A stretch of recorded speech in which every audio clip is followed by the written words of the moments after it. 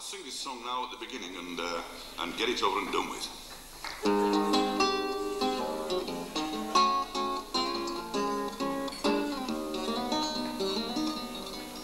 Oh, Josephine, what do all these policemen mean by coming to the convent in a grim limousine? After Sister Josephine, why you, Sister Josephine, you sit with your boots up on the altar screen. You smoke one last cigar. What a funny nun you are.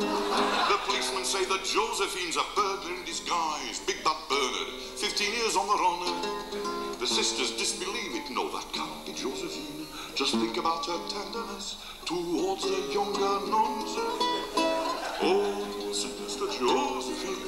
They're searching the chapel where you've been seen, the nooks and the crannies of the nuns' canteen. After Sister Josephine, why you, Sister Josephine, you sip one farewell Benedictine before your au revoir. A right funny you were. Admittedly, her hands are big and hairy and embellished with a curious tattoo. Admittedly, her voice is on the deep side and she seems to shave more often than the other sisters.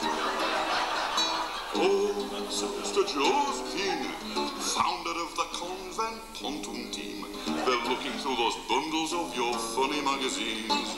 After Sister Josephine, why you, Sister Josephine, you give a goodbye with oh, of Benzagreen to the convent budgerigar.